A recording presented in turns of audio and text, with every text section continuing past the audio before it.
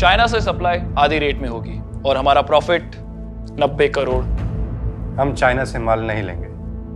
मीर सोच लो। उन्होंने जो करना था कर लिया अब हम दिखाएँगे। मीर मुनाफा बहुत बड़ा है। हमारे देश और हमारे जवानों के सामने बहुत छोटा है।